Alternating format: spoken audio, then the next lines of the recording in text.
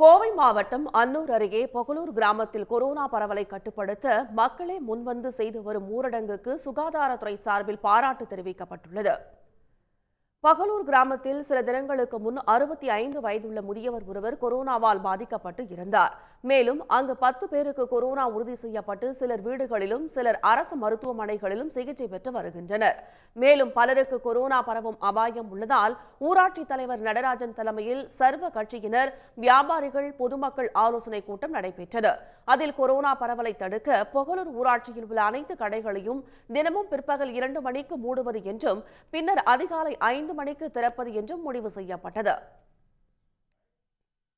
இந்த கொரோனாவை விரட்ட வேண்டும் என்பதற்காக மதியம் பன்னெண்டு மணி முதல் வரும் காலை அஞ்சு மணி வரை நாங்கள் இந்த கடையடைப்பு நடத்தி காலை அஞ்சு மணி முதல் ரெண்டு மணி வரை மட்டுமே இந்த கடையடைப்பு மக்களுக்காக கடையை நடத்தி ரெண்டு மணி முதல் அடைத்து இந்த கொரோனாவை விரட்ட வேண்டும் என்பதற்காக அனைவரும் சேர்ந்து முடிவு செய்து இந்த இந்த இதையே இந்த கடையடை போராட்டத்தை ஏழு நாட்களுக்கு நடத்த உத்தேசித்து நடத்தி கொண்டிருக்கின்றோம் அரசு இரவு ஒன்பது மணி வரை கடைகளை திறக்க அனுமதி அளித்தும் கொரோனா பரவலை தடுக்க பகலூரில் முழு அடைப்பில் ஈடுபட அனைத்து கட்சியினர் வியாபாரிகள் பொதுமக்கள் ஒருமனதாக முடிவெடுத்தனர்.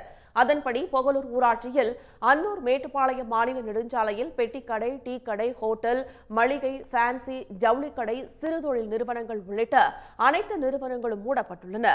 சர்வ கட்சியினரும் வியாபாரிகளும் இணைந்து மேற்கொண்டுள்ள இந்த முயற்சியை சுகாதாரத்துறை பாராட்டியுள்ளது. உடனுக்குடன் செய்திகளை தெரிந்து கொள்ள சன் நியூஸ் பெல் ஐக்கான கிளிக் பண்ணுங்க.